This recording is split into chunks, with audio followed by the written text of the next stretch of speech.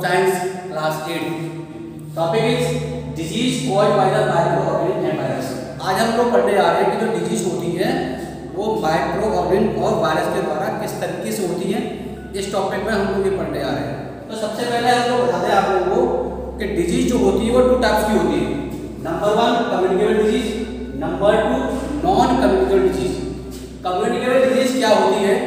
Communicable disease वो होती है जो किसी के कांटेक्ट में आकर फैलती हूँ। जैसे मैंने कहा कि अगर मैं, जैसे मैंने कहा कि कम्युनिकेबल डिज़ीज़ है, अगर कोई एक छुआछात की बीमारी देखी होगी आपको ने छुआछात की बीमारी होती है इट मीन्स मुझे कोई बीमारी हो, अगर मैं किसी दूसरे पर्सन के कांटेक्ट में आता हूँ और वो डिज़ीज़ जो मुझको है, वो किसी दूसरे को हो जाती है, उस डिज़ीज़ को बोला जाता है communicable disease it means suppose एक पर्सन है, इस पर्सन को कोई टीबी की बीमारी है।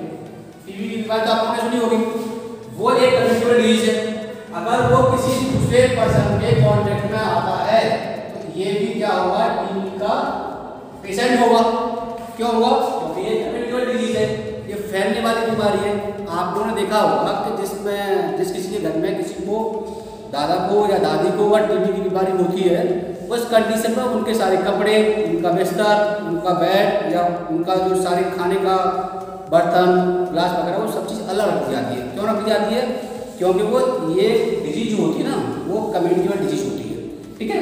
इसके और बहुत सारे ठीक है? नॉन कम्युनिकेबल डिज़ीज़ क्या होती है?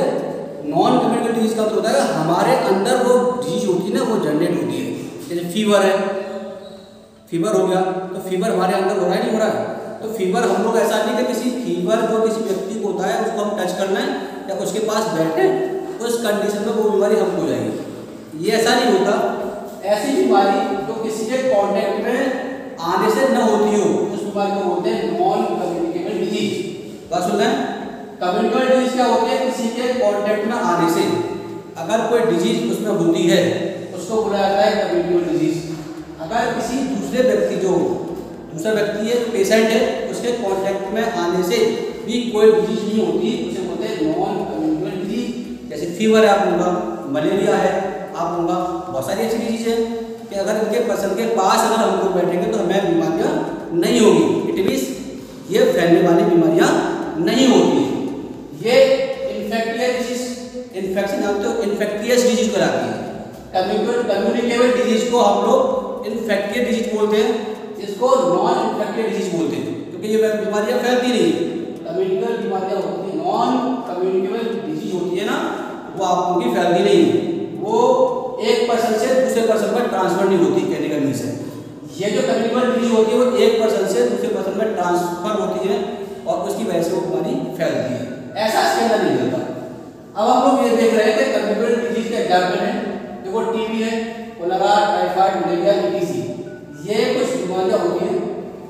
हम देखते हैं ये सारी बीमारियों के एग्ज़ाम्पल है। क्लियर है अब हमने ये देखा कि कम्युनिकेबल डिज़ीज़ किस किस चीज़ से फैलती है लोगों को। जैसे हमने कहा फ़ूड के द्वारा फैलती है बीमारियाँ वाटर के द्वारा ट्रांसमिट होती है एयर के द्वारा होती है इंसेक्ट के द्वारा होती है और क्लॉथ के द्वारा होती है। नंबर वन एक जगह से किसी दूसरे पर्सन में, एक पर्सन से दूसरे पर्सन में जो बीमारी फैलती है तो किस किस तरीके से? ऐसा क्या मीडियम है जिस मीडियम की वजह से वो ट्रांसफ़र होती है?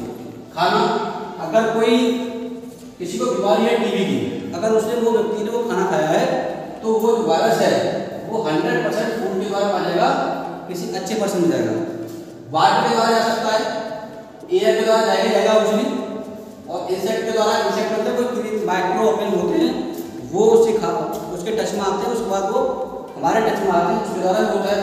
क्लॉथ कपड़े भी होते हैं। इट मीन्स क्या है कि हम लोग ये देखते हैं कि ऐसे लोग जिनको बीमारियाँ होती हैं कम्युनिकेबल डिज़ीज़ होती हैं, उनके हम लोग को कपड़े भी नहीं पहनने चाहिए। उनके बर्तन भी नहीं लेने चाहिए हम लोगों को। क्यों? क्योंकि क्लॉथ के द्वारा और बर्तन के द्वारा भी ये डिज़ीज़ फैलती है। अब नेक्स्ट पॉइंट आ रहा है इसे बोलते हैं डायरेक्ट ट्रांसमिटेड और इनडायरेक्ट ट्रांसमिटेड ये दो चीज़ होती है। एक तो सीधे तरीके से फैलना कॉन्टेक्ट में आना या सीधे तरीके से ट्रांसफ़र होना किसी चीज़ का। सीधे तरीके से ट्रांसमिटेड होना। इट मीन्स अगर कोई डिज़ीज़ है, जैसे हमने कहा डायरेक्ट कॉन्टेक्ट डायरेक्ट ट्रांसमिटेड क्या होता है? डायरेक्ट मतलब होता है? कि वो सीधे तरीके से कोई डिज़ीज़ उसमें चली जाती है। जैसे हमारे अगर डायरेक्ट कॉन्टेक्ट अगर किसी को छूने से, जैसे हमारी बॉडी में अगर वो डायरेक्टली कोई चीज़ आ रही है डायरेक्टली कोई माइक्रो ऑर्गेनिज्म आ रहा है, या डायरेक्टली कुछ छोटे छोटे माइक्रो वायरस है बैक्टीरिया वो डायरेक्ट हमारे कॉन्टैक्ट में आते हैं उसको रहता है डायरेक्ट ट्रांसमिशन जैसे ड्रॉपलेट है ड्रॉपलेट समझते हो आप? जैसे हम लोग बातें करते हैं, या कोई व्यक्ति छींकता है उस कंडीशन में कोई अगर बीमार व्यक्ति है अगर वो बातें कर रहा है तो उसके पास जाके बातें करेंगे ना तो उसके मुँह में से ड्रॉपलेट निकलेगी।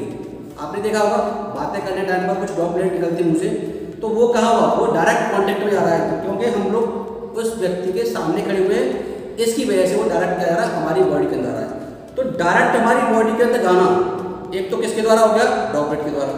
एक किसके द्वारा? टच करने के द्वारा।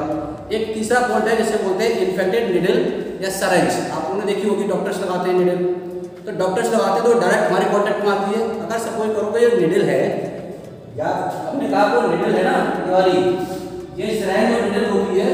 वो सरेंज और निडल अगर इन्फेक्टेड हुई, या फिर उस पर कोई माइक्रोग्रिप हुई, या और बहुत सारी चीज़ें हुई, अगर वो हमारे बॉडी के कॉन्टेक्ट में आएँगी, या हमारी बॉडी के कॉन्टेक्ट में आएँगी तो वो डायरेक्ट हमारी बॉडी में बन जाएगा माइक्रोग्रेन तो इसको बोला जाता है डायरेक्ट ट्रांसमिट और डायरेक्ट कॉन्टेक्ट के द्वारा ड्रॉपलेट जो होती है उनके द्वारा और निडल और स्ट्रेंच होती है उनके द्वारा। इनके द्वारा हम लोग क्या करते हैं? हमारी बॉडी के अंदर डायरेक्ट माइक्रोग्रेन की एंट्री होती है। डायरेक्ट कॉन्टेक्ट में आता है। सेकेंड है इनडायरेक्ट ट्रांसमिट क्या होता है? इनडायरेक्ट मतलब किसी दूसरे के द्वारा। जैसे कोई माइक्रो ऑर्गन है में पहले आता है वाटर में आता है, उसके बाद वाटर फ़ूड को हम खाते हैं, तब हमारी बॉडी के अंदर आता है। माइक्रो ऑर्गन डायरेक्ट ना आकर क्या करता है, किसी मीडियम के द्वारा आता है।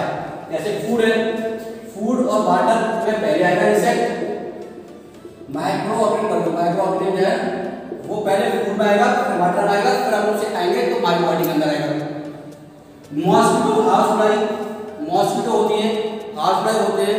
आपने देखे कोई जनरल क्या है आप इंसेक्ट्स हैं। इनके द्वारा हम लोगों को जनरल बीमारियाँ होती हैं। तो हमने देखा होगा कि जो हमारे घर में गंदगी होती है या हमारे घर के बाहर गंदगी होती है, उस गंदगी के अंदर जो माइक्रो ऑर्गेनिज्म होते हैं, उनको लाने का काम कौन करता है? इंसेक्ट करते हैं, जैसे हाउस फ्लाई है मॉस्किटो है। अब उनके द्वारा फिर हमारी बॉडी के अंदर पहुँचते हैं, कैसे पहुँचते हैं, वो हमारे खाने पर लेके आएँगे। खाने के बाद हमारी बॉडी के अंदर आएँगे। तो ये एक तरीका होता है। दूसरा था कपड़े क्रॉस क्रॉस के अंदर क्या होता है? कुछ इंसेक्ट हैं, वो अपने पैरों में या अपनी बॉडी से कुछ माइक्रोवेव को लेके आए और वो हमारे क्लॉथ के ऊपर बैठ गए और क्लॉथ को हमने पहन लिया।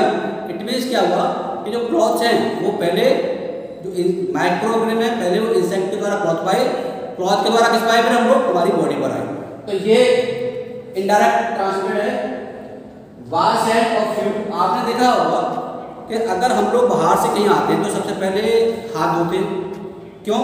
क्योंकि जो मॉस्किटो वगैरह जो माइक्रोवेव बाहर होते हैं, वो पहले हमारे हाथ पर आते हैं और हाथ के द्वारा फिर हमारे मुँह के अंदर पहुँचते हैं। इसको बोला जाता है एक रीजन है, इसको बोला जाता है इनडायरेक्ट ट्रांसमिट फल होते हैं, फलों को हम आते हैं, सब्ज़ियाँ होती है वेजिटेबल्स उन पर क्या आते हैं माइक्रोवेव आते हैं बाहर से।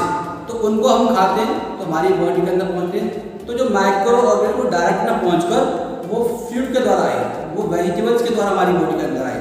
उसे बोला जाता है इनडायरेक्ट ट्रांसमिटेड मैं आपको कह रहा हूँ हाउस फ्लाई जो देखी होगी, उसके द्वारा हम लोगों को जनरल कम से कम 20 बीमारियाँ होती हैं। 20 डिज़ीज़ कॉजेज होती हैं हमारे अंदर बाय द हाउस फ्लाई ये डालना इतनी खतरनाक होती है हमारे अंदर। ठीक है?